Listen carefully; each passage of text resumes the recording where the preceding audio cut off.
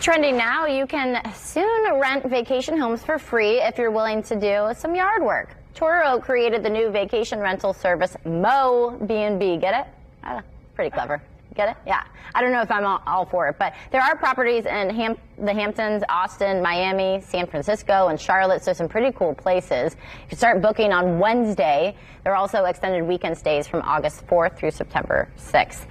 Yeah, I- Want you to mow the grass? yeah, so I guess if you're willing to like clean up the place, you can rent it. I would assume at a cheaper price there. Like, but how is that a vacation where you have to like clean stuff up? I mean, if it's a mansion, maybe. Although that seems like a lot more work. Oh, right? I Hey. know. I mean, hey, if, if it works, it may work for some people. I There is something for everybody. There is. Yeah.